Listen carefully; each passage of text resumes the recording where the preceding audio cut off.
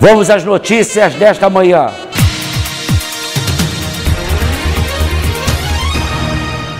Olha, a estátua mais alta do mundo está prestes a ficar pronta na Índia. A obra foi projetada para ter 182 metros, o equivalente a um prédio com mais de 50 andares. Ela é atribuída a Sadar Patel, herói da luta pela independência do país.